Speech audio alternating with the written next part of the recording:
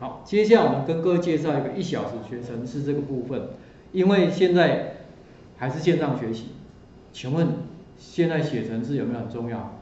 有，真的很重要，而且从就是一百零七年，国中是选修，高中是必修，就是城市设计会列入课纲，所以你在现在在外面你会发现有很多写程式的课，那你一定会会觉得啊，我又不会写程式，会很难吗？所以一小时学程式就是要你用玩的，等一下我找一个来玩，找一个来玩哈，那我先给你看一下。因为现在学程式呢，不只是只有这样子，我们还需要怎么样做一些互动，所以我给你看一下这边，我看一下，好，就是这个啦。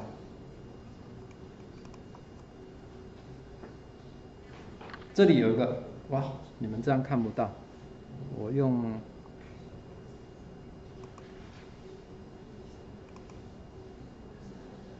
好，这一段我先停一下哈。好，那我给各位看一下哈，你看它也有做语音辨识有没有？好，给您给各位看一下，这里有一个开灯、关灯，这样了解吧？我讲这个，讲这个它就没有用，讲开灯、开灯。它才会开，因为它有做语音辨识啊。你看这个城市来，关灯，这样叫智慧家电嘛，不是吗？哦，可以，关灯，好，来你看一下那个城市，我先停一下，你看就这几样就解决啦，就这么简单啊。因为我这个学习多媒体互动的课，我们要把这个带进到课程里面。可是你知道我是教什么戏吗？我教用眼睛看的那一种视觉传达，你就知道这些同学一定不喜欢数学，一定不喜欢，一定不喜欢程式。那这个程式要怎么教？我就要找这种，因为其实现在我们写程式就像这种积木式的，真的。那各位，其实现在你也你也会去很多地方，一些展场有没有？展览的地方有没有很多跟民众做互动的？不管是比如说 VR 啦或 AR 啦，哈，这种也有。那或者像我们这样这一种的感应式的也有很多。还有像什么智慧家电啊，都一样，有非常多，它都需要用到跟这些所谓的装置或者甚至手机，我们做什么做感测？那你要用这些，如果要你写很难的程式，这个对大家来讲就很过分了，对不对？所以呢，我们来看看，你可以找到一小时学程式，这里我先关掉，像这个也是的啊，我用一下给你看，跳，讲话，它就会跳。这样了解，哎，所以其实这些都是像我在这个课程里面我介绍我们会教的，像这个足球也可以玩啊，啊，用网络摄影机的影像来踢足球啊，你要用头顶的也可以啊，哈 哈哦，就是类似像这样，那我给各位看一下这边，这叫一小时学程式，我把它点过去给你看一下，程式真的不难。那你可以选择，现在都是用这种拖曳式，就是积木式的方式。哎，对哦，先抽一个来玩，好不好？来，先抽一位同学，这样都不会睡着，对不对？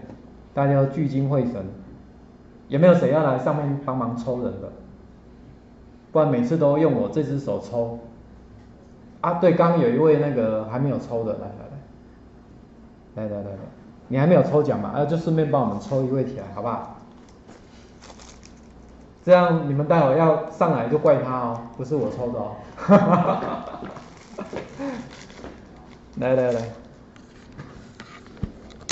好，看你要呃眼睛打开还是要眼睛闭着，随便你。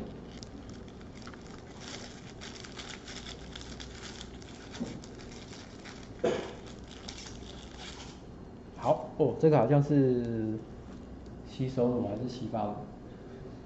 沐浴乳。这里。哎，好，OK，来给你按吧。按这个吗？对。哎，哎千寒有来过的，对不对？那要再好好好，还是你要上来？好，再按重设，好，再开始。哦，果然是雅慧。雅慧在哪里？哦，来来来来来来，既然说要学城市嘛，一定不会太难。你有一种感觉，要认识他了吗？等一下走在路上会认识他，开玩笑哈，来来来，哎，你要来玩一下啦，我们来玩一下看看这个一小时圈，你要玩哪一个？你想要玩哪一个？还是我找还有在中文的，我就用一小时学程式，我再找另外一个也可以。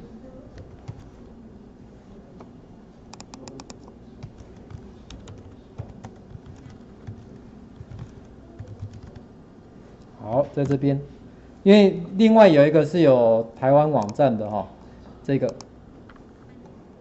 好，你要试看看创世神，还是要要跟 A 啦，丽莎，还是星际大战，还是要愤怒鸟？你边都觉得？好，创世神，你有在玩这个吗？没有。好，你来看一下，你看他进这个关卡，总共一进来，他会有一个就是说明的影片，告诉你说，哎，这个里面大概要怎么玩。好，那他只要到重要的概念，就会有一个影片来介绍。好，如果你不想看，就把它关掉哦。好，那么他先问你选个角色吧。来，这一场你主你是主场，来，我只负责遥控而已，看你要选哪一个。好，进来之后，其实他这个关卡哈，他一进来在这边。他说：“哎，你添加两个向前进有没有？就可以找到那个绵羊。你看他的，他选的这个关卡，总共在上面这里有没有？好像是十几关嘛，很容易就过了啦，你不用紧张。然后呢，你把积木拖进去就可以按运行。我我先玩一次给他看哈。你看他说这里不是有一个人吗？对不对？你刚选的角色，那你要走到绵羊，所以你的积木要怎么样？按下运行的时候要向前。”两格有没有一格两格？嗯，还是要三格？我们可以试看看。如果不知道没关系，你按一下运行，有没有走两格？但是还没有到，好，还没有到，所以好已经有了哦，我可以的，走到它前面就好了，有没有？这样就过一关了呢，这样就写程式了呢。你看程式码打开，因为它刚写了 move forward move forward。这样有没有发现，现在学程式是这样学的？其实我们的 A P P，像那个 Google 的 A P P，现在也有这种做法，有这种做法，所以真的越来越简单。那就给你继续喽。第二关有没有发现？就跳到第二关了。他说：“来，任务名称在上面，任务名称在上面。”他说：“木材很重要，对不对？所以你要走到树木前面，使用摧毁方块哦。你看加都无，有无？这边有摧毁方块，所以你要走到木材前面要走几步？嗯，一步，两步，然后呢，摧毁，好，哎，要过关了，怎么那么厉害？有没有？有没有第二关就过了？这样有没有比较有信心一点？可以继续完成第三关吗？请问，如果你写成是假设你已经比较厉害了，可不可以直接勇闯最后一关？也可以哦，也可以哦。来来来，任务来是吧？剪羊毛的时间到了哈，用修剪指令从两只绵羊上面收集羊毛来。那因为是两只嘛，所以要往前，甚至还要转动，对不对？哎，走到它前面去剪哦，一个、两个，好，这个剪完之后还要怎么样？对对对，要转方向，对不对？这样，它现在在这样子，所以要转哪一边？这样还是这样？往下，哎，对，向右转，然后再怎么样？要不要前进？